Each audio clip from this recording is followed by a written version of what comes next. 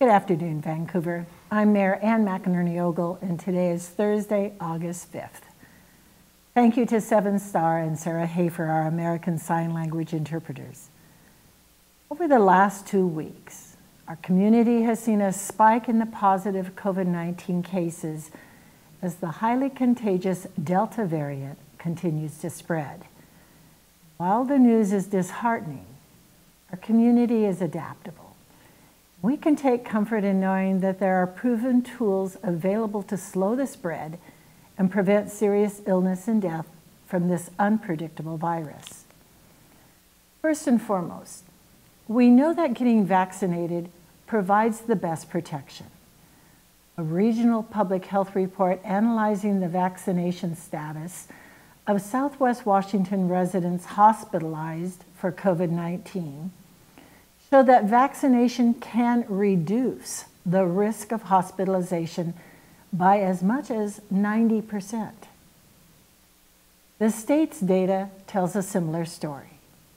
Between February and June, at least 94% of COVID cases, deaths, and hospitalizations of Washington residents 12 and older occurred in those who were not fully vaccinated. In addition to getting the shot, masks are our next best line of defense. Last week, new CDC data showed that even the fully vaccinated have the potential to spread the Delta variant. The result of our surging case rates and updated guidance from the CDC, Clark County Public Health has recommended that everyone, regardless of vaccination status, resume wearing masks indoors to help prevent the spread of the virus. And while the mask guidance is a recommendation and not a requirement for those who are fully vaccinated, please consider your risks and what's at stake if our case rates continue to climb. Even if vaccinated, consider wearing a mask when you visit public places where you do not know the vaccination status of those around you, where those who are too young to be vaccinated are present, or where you could be near those who are immunocompromised and may not receive full protection from the vaccine. Of course, masks are still required for unvaccinated individuals in indoor public places. Here at City of Vancouver, Masks are still required for the unvaccinated when visiting any city building. Starting this week, Vancouver's Parks and Recreation Department is now encouraging masks for all indoor settings, including the popular Marshall and Firstenburg community centers, regardless of your vaccination status.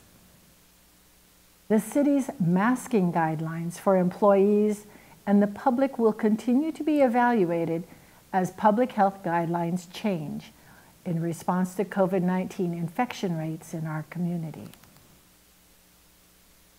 As a reminder, some city services have started offering in person hours and meeting opportunities. Vancouver City Council meetings are now offered in a hybrid online and in person with space capacity limits and physical distancing measures in place for those who wish to attend in person. Our popular virtual meeting format will continue to remain an op option for community participation moving forward. Community members are invited to view the City Council workshop and meeting agendas and register to speak to Council in person or through Zoom at the link on the screen. City's Permit Center and Customer Service Desk here at City Hall is now open with limited hours on Mondays and Wednesdays.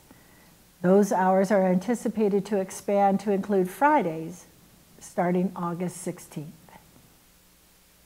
The city's Utility Customer Service Desk, which processes city utility payments at the Vancouver Operations Center on 4th Plain, has resumed full in-person service hours Monday through Friday.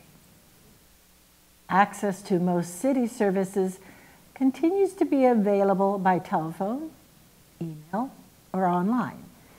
And for a current list of what is and isn't open to the public for in-person service, please visit the city's website. This week, more reassurance has come for renters who may be facing eviction amid surging COVID cases and slow distribution of federal assistance funding for qualified tenants.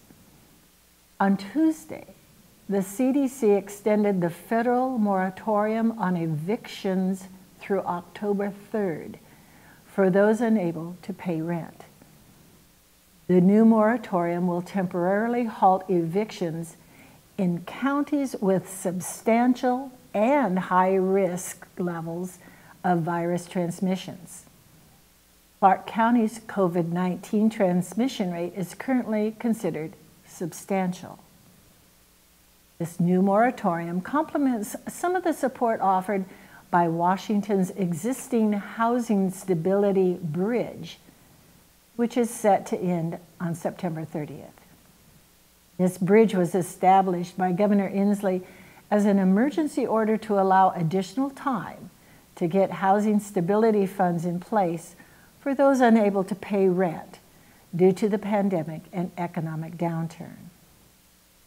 Federal funding for rental assistance is being received and managed by Clark County and distributed through their local service providers to eligible low income households. Demand and need for rent and utility assistance in our community is unprecedented. Over the course of the last year, Clark County has distributed nearly $20 million in rent or utility assistance to nearly 3,000 households. Local nonprofits are now providing close to $1 million in financial assistance for rent and utilities to an average of 100 additional households every week. There are about 1,700 eligible renters who have applied and are still awaiting assistance. Due to this backlog, no new applications for assistance are being accepted at this time. The county continues to work with rental assistance providers to open additional rent assistance spots for tenants to apply as soon as possible. So please watch the county's website for more details to be announced soon. On a similar note, if you're struggling to pay your utilities, Governor Inslee has also issued an extension of the utility moratorium through September 30th. That means the city will continue to keep your water services on and waive late fees and interest despite overdue payments. Customers still have the responsibility to pay for their utility services but have until September 30th to catch up on bills and make payment arrangements to get back on track. If you're experiencing financial hardships and are unable to pay your water and sewer utility bills, please contact Utility Customer Service for help and guidance. Finally, an update for our small business community. The Greater Vancouver Chamber of Commerce is currently offering all Clark County businesses the opportunity to join its Grow the 360 Shop Local program at no cost until August 31st. This virtual gift card program provides an easy way to support small businesses as we rebound from the economic impacts of the pandemic and adding to the numerous grant opportunities available to local small businesses affected by the pandemic, there's a new low interest loan option offered through the Washington State Department of Commerce. If you're a small business or nonprofit with 50 or fewer employees, you can apply for a loan of up to $150,000 through the Small Business Flex Fund. The money can be spent flexibly, including on payroll, utilities and rent, supplies, marketing, building improvements or repairs, and other business expenses. You can continue to find more small business recovery resources on the city's website. As we all feel the sting of yet another increase in COVID cases, it's important to remember that our collective efforts to get vaccinated make the difference. If you're among the nearly 60% of Clark County residents who are fully vaccinated, you have and will continue to be an active participant in not only slowing, but preventing serious and deadly cases of this awful virus. Thank you, Vancouver, for doing your part by rolling up your sleeves and masking up to keep our businesses open and our community healthy. Have a good weekend.